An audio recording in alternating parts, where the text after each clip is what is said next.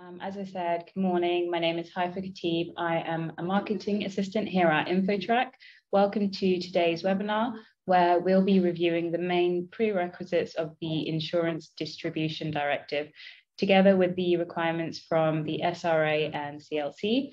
Taking you through today's webinar, I'm delighted to be joined by Kelly McDonnell and Anthony O'Hanlon from CLS Property Insight as well as Tracey Calvert, who is a regulatory compliance specialist at Oakhalls Consultancy. And we're also joined by Adam Noreen, who is the product manager here at InfoTrack, and he will be covering how InfoTrack can support you in meeting IDD requirements. Um, just before we begin the webinar, I'd like to draw your attention to the Q&A tab, which is located at the bottom of your screen. We will run a Q&A at the end of this session, so please type any questions you might have for our panelists, along with your name into the Q&A box. So that way, if we run out of time, you um, can get your question answered and further clarification later on. Uh, without further ado, I'm going to hand you over to Anthony. Thank you. very much, Haifa. Uh, morning, everyone. Uh, great to be with you all today, and so many of you. And uh, yeah, we've got a really full hour for you today. So uh, the agenda for the session. So firstly, we'll just have a brief introduction from ourselves at CLSQ, and then we'll be handing over to our expert guest speaker for today, Tracey Calvert. Um, we will then uh, come back towards the end of the session just to kind of tie it all together. Um, so do uh, stick with us for that. Also, just to mention, I'll be sharing with you some survey results throughout Tracey's presentation. And also we'll be doing a live poll. So if you do have your smartphone to hand, you can take part in that. So Haifa's just done a, a, brief introduction. I'll just give you a little more background on each of us and particularly uh, Tracey. So um, myself, I'm the head of customer development at CLSQ with 16 years in the industry. And then my colleague, Kelly, um, is the uh, national sales manager at CLSQ. Um, Kelly was also a non-practicing solicitor, uh, previously worked as head of conveyancing with 25 years industry experience as well. And then our main speaker for today is Tracey Calvert. Tracey is a regulatory compliance specialist at Oakhalls Consultancy. Tracey is the immediate past chair of the International Bar Association's Professional Ethics Committee Tracey is a lawyer and also a director at Oakhalls. Tracey is also a board member of the Wilmington Group's Legal Compliance Association and the Law Society's Legal Compliance Bulletin. and Tracey was previously employed by the Law Society and the SRA as a senior ethics advisor and a policy executive. So hopefully what that means is Tracey is in an excellent position to educate you on the requirements of IDD. So at this point, I'll hand over to Kelly. He'll just talk a little bit more about CLSQ, and then uh, we'll get straight onto Tracey's session. Over to you, Kelly. Thanks, Anthony, and thanks for InfoTrack for hosting today's webinar. Um, so good morning, everybody. Uh, for those of you on the call that don't know who CLSQ are, uh, we are a leading provider of data technology and insurance services. You may know us as CLS. We rebranded in September 2022 uh, to bring together all of our products and services under the one brand. We're probably best known for providing legal indemnity insurance for residential and commercial property transactions. And we've actually been supporting law firms for over 13 years. And we've got uh, 60 plus indemnity policies available online via InfoTrack uh, with quotes available in seconds. And we've actually got a completely unique feature as well, again, available via InfoTrack, which is the ability to tailor your own quotes online and obtain your own bespoke quotes precisely to meet the demands and needs um, of the circumstances of the case. We can also provide you with bespoke quotes offline for truly bespoke matters uh, with our expert team of underwriters. And we have an AA minus rated capacity with Standards and Poor, this means that we've got good financial standing and the ability to pay claims if and when they become due. Uh, we've also got a world-class net promoter score. And if you haven't heard of this before, this is a global market research metric. And it's used to assess how likely our customers are to recommend us uh, to a friend or colleague, the best rating being 100. Um, anything above 70 is classed as world class. So we're really proud of our score at 91.4. So, why did we re- uh, commission this research in the first place? Well, obviously, we do a lot of work with law firms um, based on our mm. products and services on a day to day basis. And we noticed that there was a lot of confusion uh, in the marketplace with regards to the requirements of the Insurance Distribution Directive. Uh, for example, we often have calls, conversations with law firms about being on the EPF register and sometimes firms don't understand why we insist on that registration being in place before ordering insurance from ourselves. Um, we've also worked with law firms who perhaps think that they're not providing a personal recommendation for legal indemnity insurance. Um, but then, actually, when we've looked at some of the documentation, their actions are congruent with actually providing a personal recommendation. Um, so we also noticed there was a real kind of lack of awareness around the consequences of non-compliance with the IDD. Uh, so Tracey will cover some of that off later. Uh, but things such as the fines, prosecutions, and sanctions from the regulators. So, very serious consequences of non compliance. Uh, so, what we did, we actually commissioned two independent legal compliance uh, consultants. Obviously, Tracey being one of those um, from Oakhalls who joins us on the session today. And our goal was really to obtain objective, independent expert opinion on the requirements of the Insurance Distribution Directive. And we'll share with you the outcome of that research as well to, uh, to help with your compliance going forward. So I'll hand you over to Tracey. She's our guest speaker for today, and she'll take you through the legislation, the regulation, and what you need to do to ensure your firm's compliance with the Insurance Distribution Directive. Thank you, Kelly. Good morning, everybody. Uh, let's kick off with an explanation about the technical language from the law. Um, what we are talking about when we talk about insurance distribution activities are the activities of advising on, proposing on, carrying out any other work which leads to the completion of a contract of insurance, assisting in the administration of a contract, particularly in the event of a claim. And that definition is wide, but is going to be relevant to many of you because you're likely to be carrying out insurance distribution activities when your clients need insurance.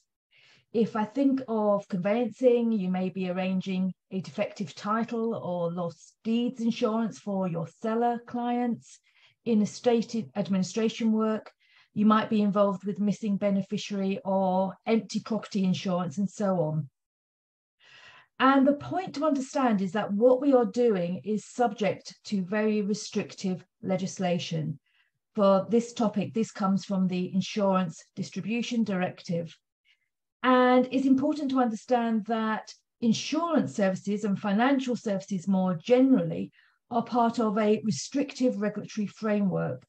So that if we get it wrong, we might find that not only have we broken the law, but we'll be subject to res- regulatory disciplinary action as well. And the whole reason for this framework and for these restrictions is because of the risk to consumers. For lawyers, I'm talking about our clients, from mis-selling or from being advised by businesses where there are no repercussions from, for bad behaviours. So if we move on to the next slide, let me give you a little bit uh, more of the detail for that. The Financial Services and Markets Act, or FSMA for short, is the principal piece of financial services legislation which we have to take into account. This applies to anyone undertaking an insurance distribution activity here in the United Kingdom. It creates the current regulatory framework for the provision of financial services and it's this legislation which restricts service providers, including lawyers, when it comes to insurance distribution activities.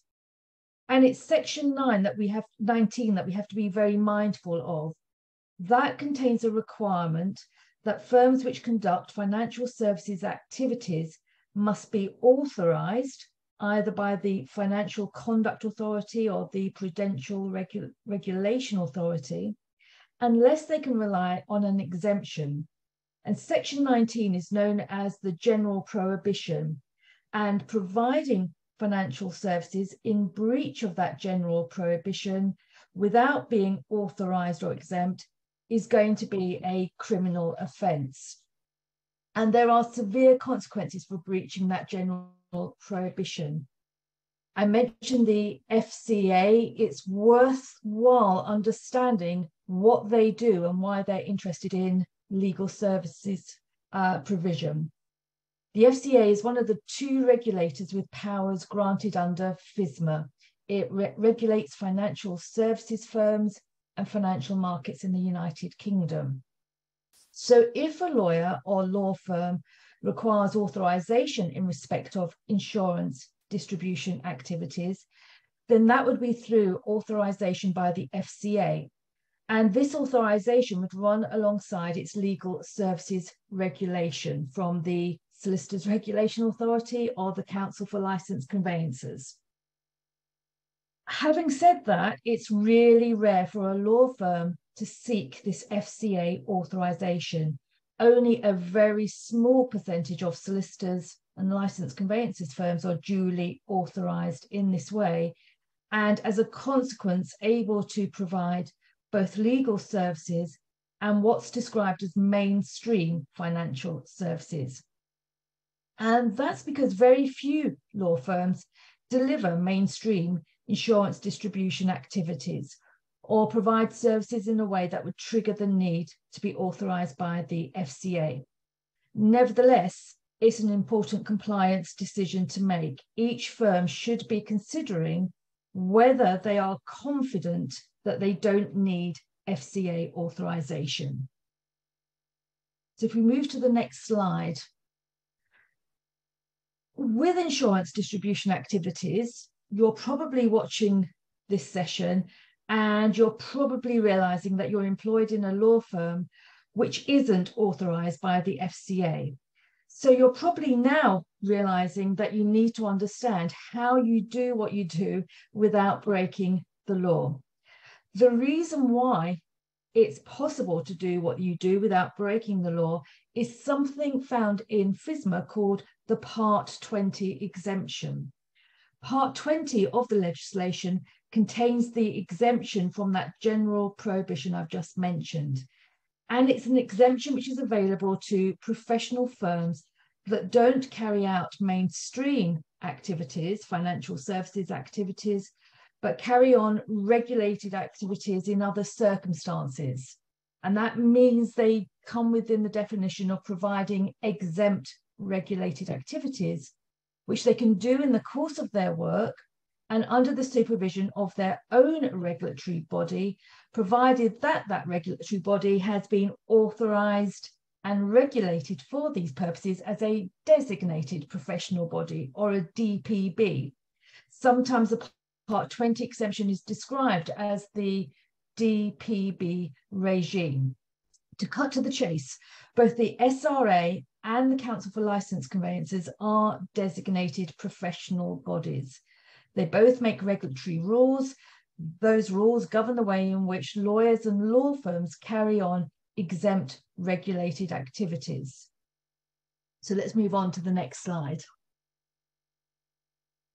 The Part 20 exemption is subject to a good number of conditions, including one I want to mention here, which applies to the treatment of commission.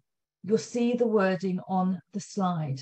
And what the wording means is that any firm who relies on the Part 20 exemption has to treat any commission which it receives from a third party as money which belongs to the client. That means that the money must be paid to the client unless the client gives their informed consent to the firm keeping the payment. In other words, when arranging an insurance product and obtaining a financial benefit, a commission from that, the firm must tell the client about the commission and make it clear that the firm must agree to the firm keeping the amount. If the client doesn't agree, then the payment must be paid over to them. And it's very important that the client has been given a clear explanation about their rights any misleading language, any attempts to retain the commission through seeking blanket consent in terms of business is just not going to satisfy the legal requirements to account properly. And it's likely that the lawyer involved in that would be found to have acted unprofessionally. So on to the next slide and a little bit more detail about the SRA, the Solicitors Regulation Authority, which in England and Wales is the largest regulator of legal services because it regulates solicitors and because it has the power to authorise law firms. With law firms, it's important to note that regulatory coverage extends not just to the solicitors in the firm, but everybody, legally qualified or not, regardless of what they are doing, purely because they're employed in those authorised law firms. It's a designated professional body for this part of the legal profession, and it has the job of making the rules to satisfy the Part 20 exemption. Now, you're going to find those rules in the SRA's Standards and Regulations Rulebook, and they are specifically the Financial Services Scope Rules and the Financial Services Conduct of Business Rules. These spell out the limit or the scope of financial services that we can perform without being authorised by the FCA. And they also tell us how we must behave when we're performing those services. An important starting point is to comply with these scope rules before um, any activity is undertaken and also to be registered on the financial services register maintained by the FCO, a. So let me hand over to, to Anthony for that. Thanks, Tracey. Yeah, so um, as Tracey was pointing out there, it is a key requirement of IDD that um, you are registered on the FCA's EPF exempt professional firm register, and it is the law firm that is responsible for that registration. So, as part of the uh, research for this project, we reached out to a number of law firms and a number of IDOs, IDOs being insurance distribution officers. Uh, they're the people who are ultimately responsible for insurance distribution at a law firm. And we sent uh, some surveys out. Um, and one of the questions we asked is of IDOs is, uh, is your firm registered as, as, an exempt professional firm? So um, interesting results on this one. Uh, the actual stat we had back was 65% um, which is a majority, but that means that there's a, a sizable 35% who either didn't know or, or were not registered at all on the exempt professional uh, register. So uh, it's it's really a kind of starting point, I would say. If you need to check this or you do need to go ahead and register, there's a link on the slide which we'll share with you afterwards. Um, it's worth mentioning if you order insurance through ourselves, obviously via InfoTrack, you order in CLSQ policies, then as a matter of course, we'll always check that anyone who orders with us is on that financial services register. But if you did want to check for yourselves, uh, the link is on the slide there. Back to you, Tracey. Thank you, Anthony. Uh, yes, with that in mind, it's probably worth uh, flagging up some of the enforcement powers that we need to consider breaches of the SRA's rules are likely to result in SRA disciplinary interest. So bear in mind that the SRA has the power to fine solicitors and employees of alternative business structure type firms up to 50 million pounds individually or the firm a whopping quarter of a million pounds and for non-ABS firms, that fining power is £25,000 and individuals can be referred to the SDT, the Solicitors Disciplinary Tribunal, which has extra powers, including the ability to remove any individual from the profession if they deem that they are unprofessional. In addition, if the breach is in the committing of an offence under the Financial Services and Markets Act legislation, the FCA is likely to take criminal action or impose a fine on the defaulting individual or firm. And it's likely that any contract of insurance is going to be rendered unenforceable because of that. So let's move on to the next slide. So the guidance that we have drafted contains a detailed assessment of regulatory duties. I just want to give you a little flavour of what you need to consider during our time together this morning. Um, the insurance distribution activities must be done in strict compliance with the regulatory rules in force. What you need to ensure, for example, is that the insurance distribution activity doesn't arise in connection with insurance-based investment products. These would include products such as life policies with an investment ele element. And the reason for this restriction is that the primary legislation is intended to ensure that anyone distributing such products is FCA authorized, given the extra knowledge and the extra skills needed to protect consumers in such circumstances. You'll also need to ensure compliance with the restrictions contained in Rule 5 of the rules, for example, you may only carry on insurance distribution activities as an ancillary insurance intermediary. That's language from the IDD. And just note that the SRA and the FCA have expressed the view that law firms satisfy that condition.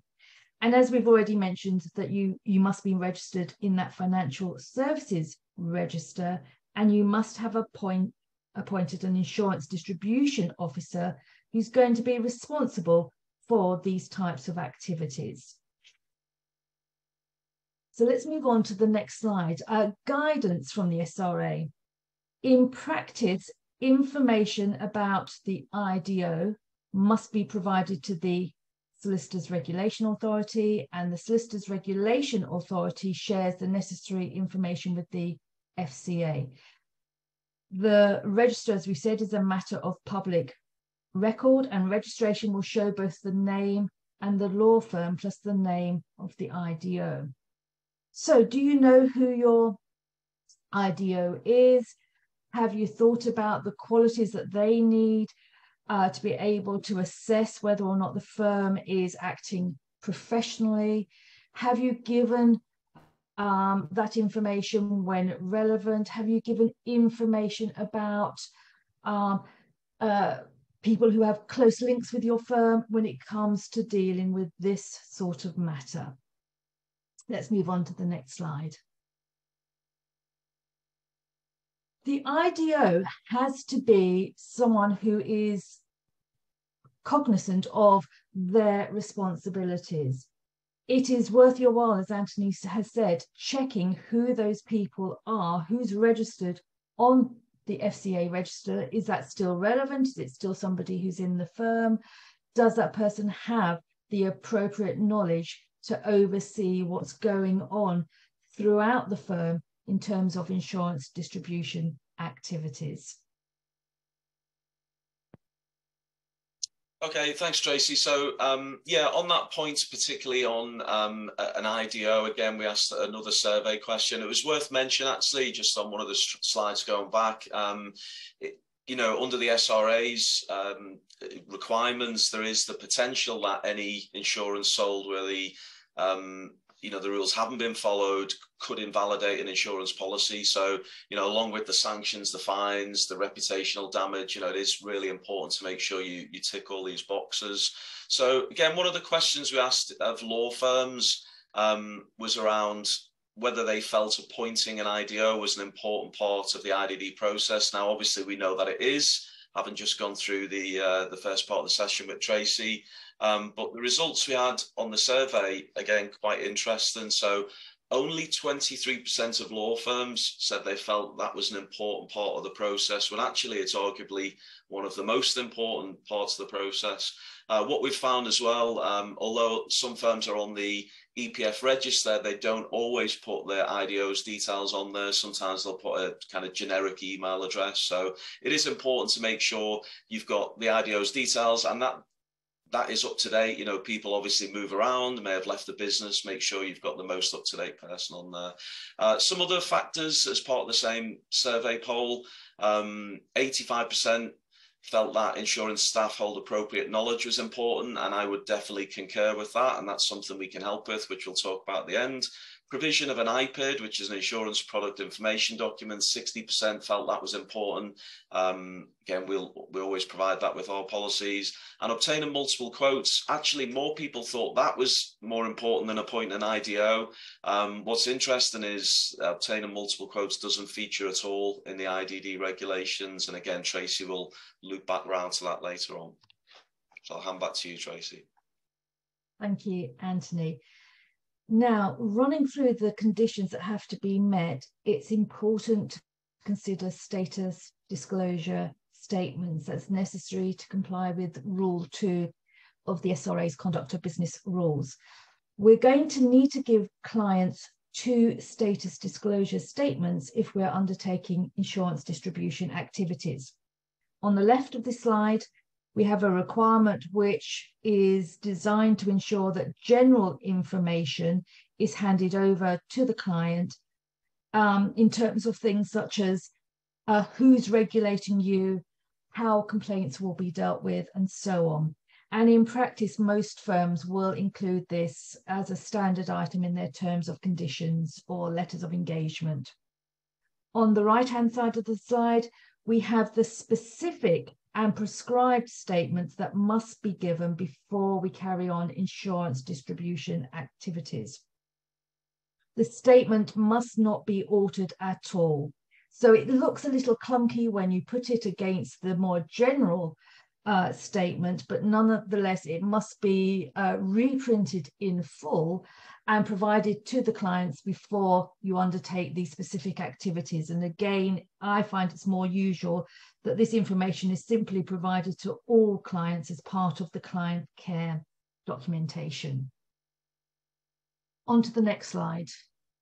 Record keeping is a huge part of uh, this framework and in the conduct of business rules, there is a long list of record keeping requirements and other duties that must be complied with if you are relying on the Part 20 exemption. For example, you must keep records of all commissions for at least six years. And you must give clients written confirmation of any activities you do where you're just doing it on what's known as a execution only basis. The client hasn't sought and you haven't given any advice. And all those records as i've said must be kept for at least six years. If we move to the next slide uh, we have um, client care type obligations it's both a professional duty and a regulatory safeguard that we give clients information in a way which they can understand and which allows them to make informed choices about their next steps. Clear, fair, and not misleading is the industry language for this. So you'll see here, for example, that you have to give the client information about the fact that you're not an insurer. And with respect to any recommendations, which I'll come on to in a, a, short while, there is information that must be provided about the, the basis of that recommendation. So let's move on to the next slide. And yes, I think one of the most risky issues to misunderstand is whether or not you must make a personal recommendation of an insurance product to your client.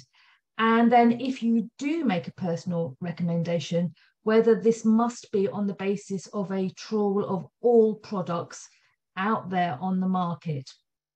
And for solicitors, this position and a solicitor's duties is explained in rules 10, 11 and 12 of the Conduct of Business Rules. Rule 10 describes general information which must be provided to the client and this does include information about whether you are providing a personal recommendation about the product offered. If you do this, in other words, if you are providing advice to the clients about a product instead of simply arranging that they obtain that product, then Rule 11 sets out the duties about the information which must be provided about the scope of that recommendation service. Now, I should add that the bottom line is that you're not obliged to make a personal recommendation or give advice. You could simply arrange the insurance policy. However, if you do recommend, then it's important to comply with Rule 11. so that clients understand the scope of your service. In other words, your clients must be given information about the basis of your recommendation. And that's going to be one of three alternative, alternatives. Firstly, have you made a personal recommendation on the basis of a fair and personal analysis? If you're committing to this level of service, and to be very clear, you are not obliged to go this far, but if you do, then you must give the recommendations on the basis of an analysis of a sufficiently large number of insurance contracts available on the market and base your advice on what contract of insurance would be adequate in your professional opinion to meet the client's needs. The second and third alternatives are less exacting. They describe either making a personal recommendation when you're subject to contractual obligations to deal with one or more insurance companies. In these circumstances, you must provide the insurer's names to the client so they know the basis of your decision making. And the third alternative arises when you aren't subject to these types of contractual obligations and you're not giving your advice on the basis of a fair and personal analysis. And in these circumstances, the duty is simply to tell the client the names of the insurers with whom you do or you may conduct insurance basis uh, business. So let's move over to the next slide. So making a personal recommendation isn't mandatory, which is important to bear in mind given the compliance risks associated with this. If you are offering this service, you should do this knowingly and not by accident. If you are the IDO, you should be checking to see what your colleagues are saying and doing when they are involved in this type of activity you will want to be confident that the firm and all individuals making personal recommendations have, for example, the necessary knowledge of both the regulatory requirements and of the market that they are looking at. Running alongside that, we have professional duties, of course, principles to act with independence in the client's best interest in a way that maintains trust and confidence. These are all considerations. And we need to make sure that clients are given information in a way that they understand so that they can make an informed choice about their next steps. Let's move over to the next slide and to Anthony again. Thanks, Tracey. Um, yeah, so really important points around personal recommendations. And again, we asked the question in our survey uh, of law firms do you make personal recommendations to your clients about which insurance policy to take? So I think Tracey's done a really good job of outlining the different options and obviously the additional risk involved if you do choose to make personal recommendations. Uh, in terms of the survey response, so again, a majority, 60% said they don't make personal recommendations. But what was interesting is that there was 38% which said they either did make personal recommendations or did it on a case by case basis. So really quite surprising that there's that larger number of law firms who would uh, choose to go down that route, bearing in mind the you know the additional risk and, and the more onerous uh, compliance required when you you make a personal recommendation. Thanks, Anthony. So, um, in all circumstances, regardless of whether or not you've made a personal recommendation, you must provide a demands and needs statement before the contract is completed, and that's to comply with Rule 12 of the Conduct of Business Rules. And my feeling is that this will probably sound more familiar to you. Rule 12 requires you to make a statement that um, the policy that you are um, organizing, arranging, recommending for the client is suitable to the needs of your client.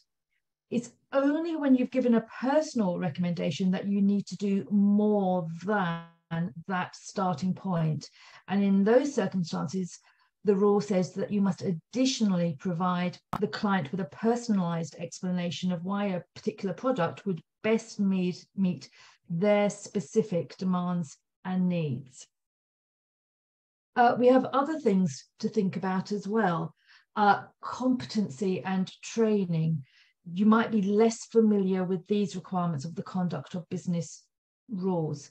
Employees undertaking insurance distribution activities must be competent, and the FCA has suggested that this includes having the necessary knowledge of the terms and conditions of policies offered, the laws covering this area, uh, knowledge about claims and complaints handling requirements, and how to assess a client's needs. Also, managers and employees must be of good repute, which must means that they must have clean criminal records and not have been declared bankrupt. These are things that you will want to uh, add to your compliance regime to ensure that you can show uh, colleagues are both suitably trained and suitably competent. Now, IPIDs, uh, Anthony's already mentioned this, clients must be given an insurance product information document. This is a document which has been prepared by the insurance provider and which must contain a summary of the main risks covered, the main exclusions, and so on.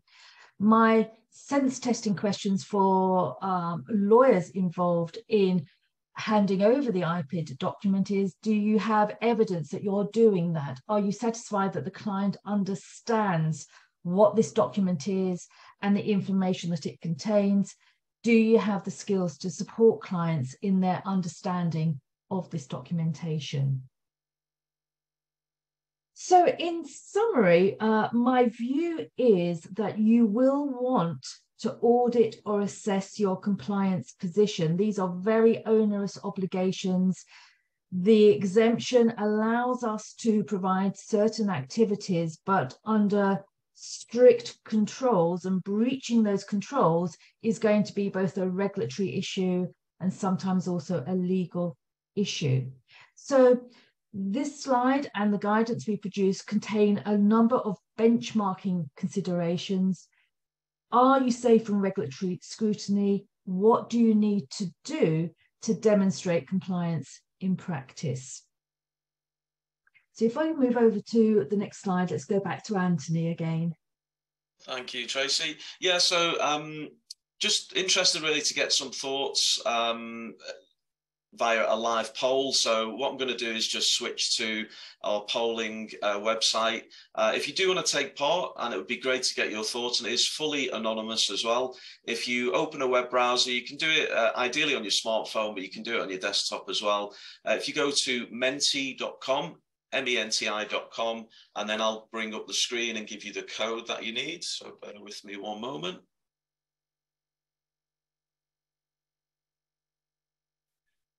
Okay, so you should be able to now see um, the code that you need there at the top of the screen. And then the first question we're asking is, which of the following are you confident that your firm has in place for IDD? There's a number of options on that.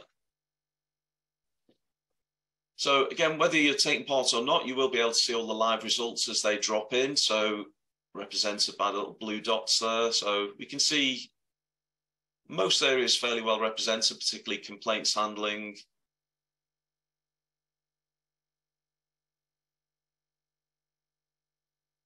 Give it a moment just to give everyone the opportunity to take part. Yeah, so what's interesting, we have run this a number of times um, when we've done these sessions, is um, employees having the appropriate knowledge or the necessary knowledge always tend to score at the bottom. Uh, and again, it's, you know, you can see that's the case. Um, everything else fairly well represented. I mean, provision of an IPID, again, if you order insurance through us, in fact, most insurance providers should always provide an IPID.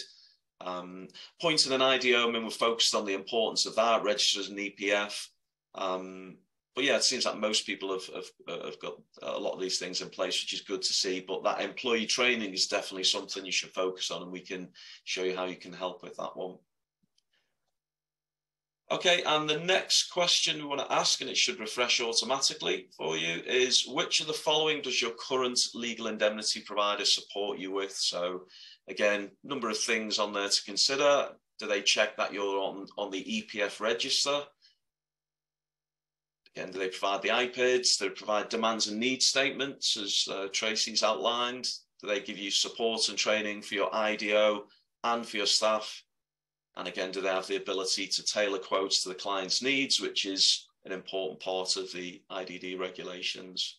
So again, really interesting results. Um, most of the ones would expect provision of IPID demands and needs scoring quite high, EPF register uh, not quite as high. So, you know, whether that's something you want to check for yourselves, I'd certainly recommend. But again, we do tend to see this pattern. Only 1% uh, say they have training and support for their IDOs. We do feel as though generally speaking, IDOs are, are somewhat overlooked. Um, you know, they're kind of given that role without the any kind of trainer support, and that's something we can certainly help with. And also training and support for staff scoring particularly low as well. Um, we do know that it's uh, integral to meet the requirements of IDD that your staff are knowledgeable and competent to meet those needs under both your regulator and the FCA as well. So thanks for taking part in those polls. Really interesting result and I'll uh, go back to the slides and I'll hand back to Tracey. Thanks, you, Anthony. Thank you. So, so far I've been discussing the requirements that apply to solicitors and SRA law firms. If you are a CLC authorized law firm, you'll want to be confident that you can comply with the rules of your own regulatory body. The Council for Licensed Conveyancers is a designated professional body. That means that you can provide uh, exempt regulated activities under that umbrella, but you have to be familiar with the CLC handbook and in particular be familiar with a code called Acting as an Ancillary Insurance Intermediaries Code. Now, the language and phraseology of the CLC handbook is sometimes different to that used by the SRA. For example, sometimes they say insurance intermediaries when that is the same as an insurance distribution um, uh, uh, body. Um, but the regulatory duties are comparable because both bodies are uh, approved regulators, they have the same common regulatory obligations, and they are subject to the same legal restrictions described in the Financial Services and Markets Act. So let me move to the next slide and show you some of the specific requirements. The CLC handbook contains some overriding outcomes, as they're described, which apply in all circumstances, so that a CLC authorized individual must act in a principled and a professional way.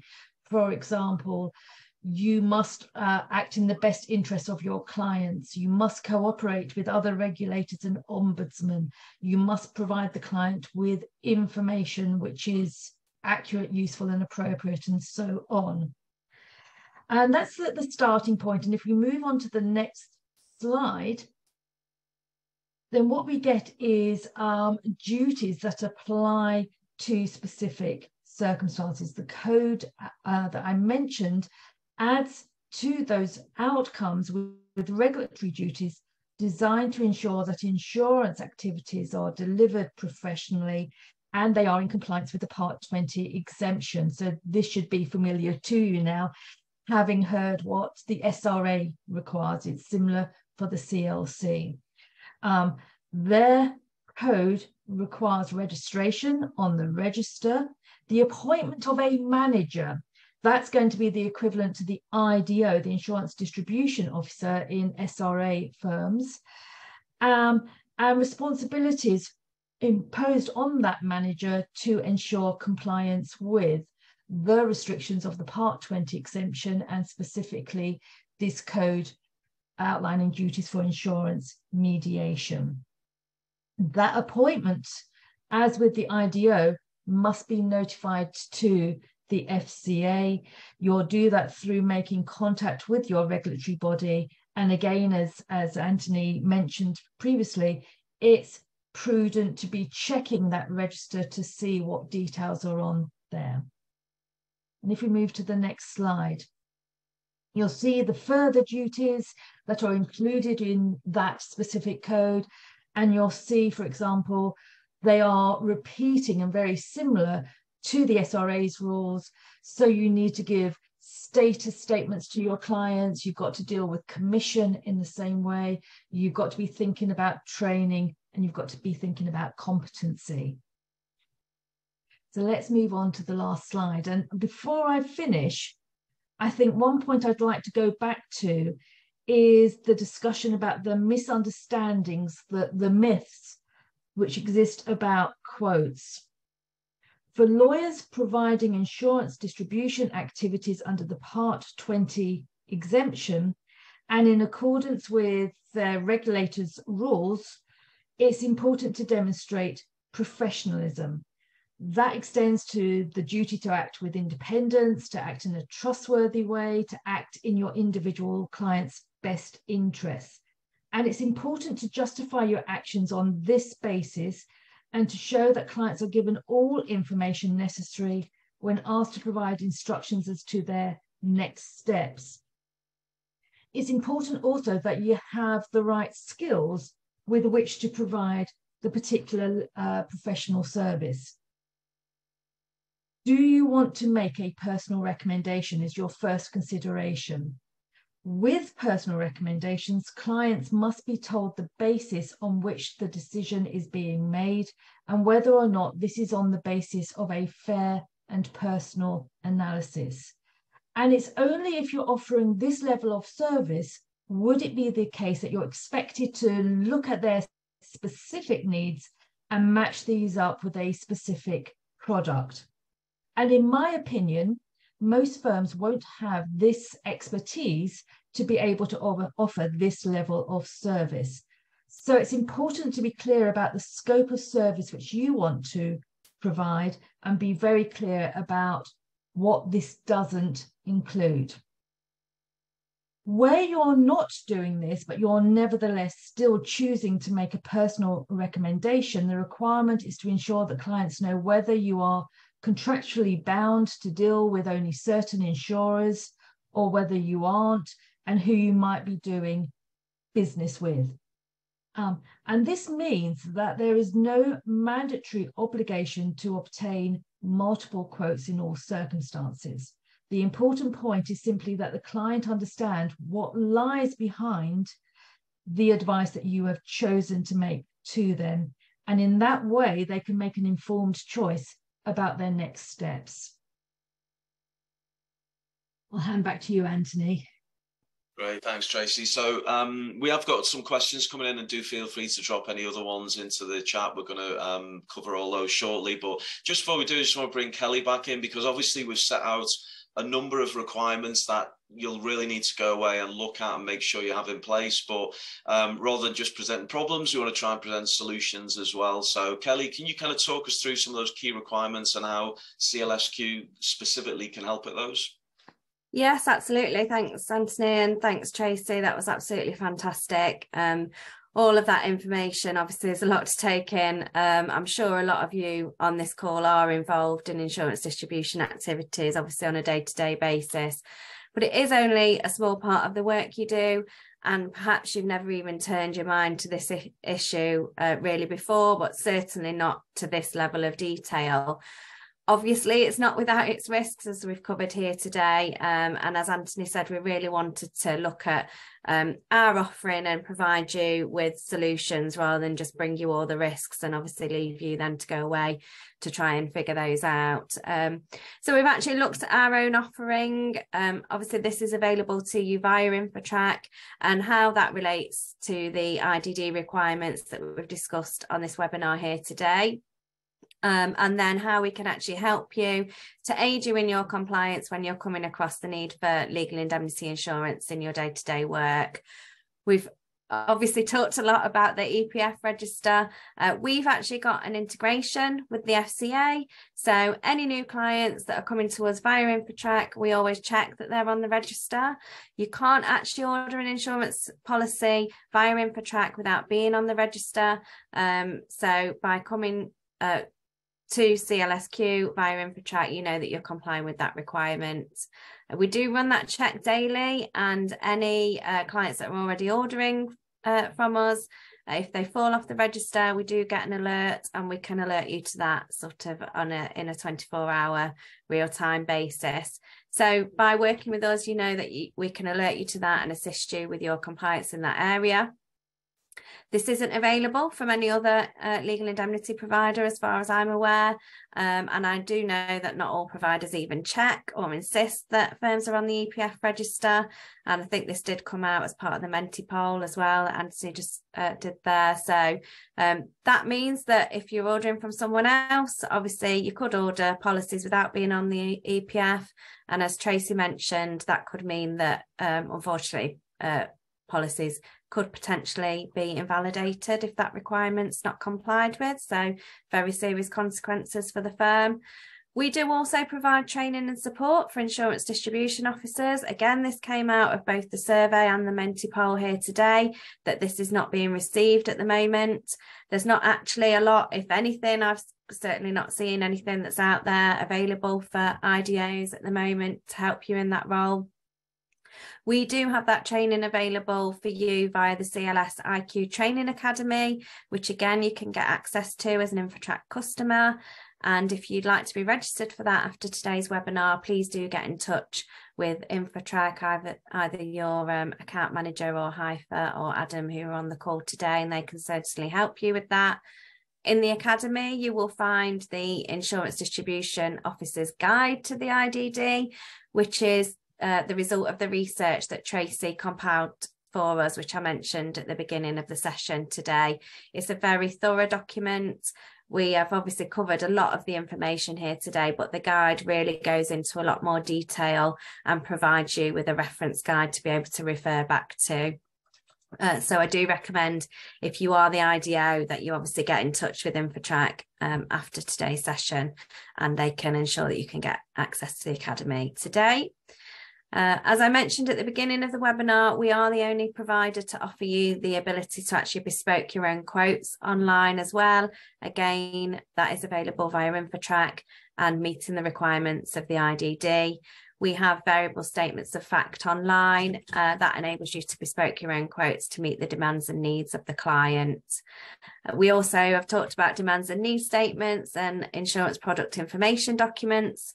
We do provide those as standard for all our policies, so hitting your compliance requirements there as well and then going on to ensure that your employees have the necessary training and knowledge.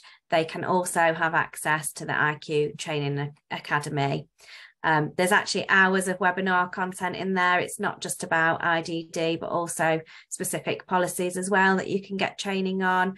And there's also a training record that you can record all of your training that you've completed on there as well. You can download that for your own records. So if there's anything that we've spoken about today that resonates with you and you want to make sure that you do tick all of your required compliance requirements in this area, please do get in touch with your InfoTrack account manager or Adam or Haifa who are on the call today and they'd be happy to assist you. Um, I will now hand you over to Adam for InfoTrack. Hi guys, uh, and thanks Kelly. Um, you've pretty much covered everything that I was going to cover um, in the last kind of couple of slides and whatnot. But um, for those of you who don't know me, I haven't spoken to before. Uh, I'm Adam, and I'm the product manager uh, for indemnities uh, here at InfoTrack. Um, uh, just to note to probably say that CLS are a great partner um, of InfoTrack. We've worked together to create um, some really good solutions over over the years. Uh, but then just to touch on the kind of risk and compliance um, points that were raised earlier as well, uh, and apologies if there's any kind of repetition here too. Um, but in terms of registering the EPF number, that is something that we collect um, from you on the time at the first time you're using InfoTrack.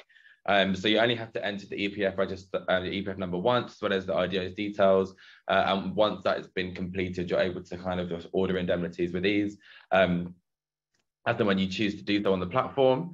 Um, in terms of the information on the platform as well, clients are able to view samples um, that is provided directly from CLS, as well as information about the kind of limit indemnities and about each individual policy type um, which may obviously form part of your requirement to provide your clients um, with the prescribed info that was listed earlier. Uh, as well as that, we obviously have statements of demands and needs, uh, which is attached to the correspondence and to every order that's placed on risk, as well as the insurance or the IPID as well that Kelly spoke about earlier too. Um, and as Tracey kind of referred to, that it is a myth to obtain multiple quotes in order to comply with IDD, um, you can obviously rely on CLS's reputation and standing um, in the legal indemnity industry um, to be confident that ordering indemnities through InfoTrack um, comfort, comfortably meets uh, the regulatory compliance requirements um, at all stages of, stages of the transaction. So yeah, Haifa, I think it might be time to answer any kind of questions. Perfect. Thank you, everyone. Um, okay, so jumping into the Q&A, as I can see that we've had a few questions. Um, the first question that we have here is, how are in-house legal teams able to obtain indemnity, indemnity insurance when the insurance being purchased for their own benefit, i.e. this person is employed by a company purchasing land but need an indemnity insurance for their own benefit or may endorse another on the policy. I think that one's. Um, Let me jump in and answer that for you. So um, the rules that I've mentioned that were drafted by the SRA um, and the CLC do not um, extend, they cannot be applied to in-house legal teams and the work that they are doing.